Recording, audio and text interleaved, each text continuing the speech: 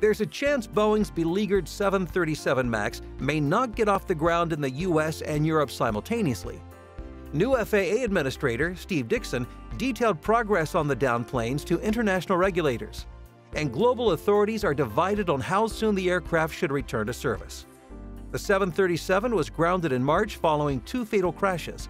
Since then, Boeing's been working to update flight control software and gain FAA approval to get the planes off the ground. Boeing hoped to put the planes back in service by the end of the year, but that is looking doubtful now. In the meantime, some European regulators are voicing concerns about the integrity of the plane's design. Just a few weeks ago, top European regulator Patrick Ky suggested they would not rely on the FAA to come to a decision. He called a return to service under the same conditions and at the same time as the U.S. as objective but not an obligation. A new report from Indonesian investigators points to design and oversight lapses as playing a key role in the crash of one of the planes. A final document from those investigators is expected to come out in early November.